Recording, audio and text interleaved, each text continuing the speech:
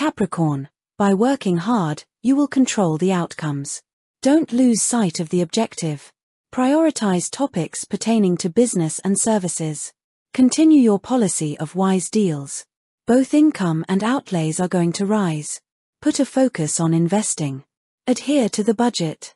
Being around con artists and sly people. Remain vigilant in a number of areas. Maintain your professional schedule active. The monetary component will not change. Stay away from haste and stubbornness.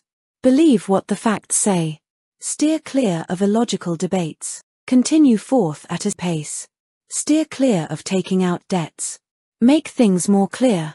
Lucky number is 22. Orange is a lucky color.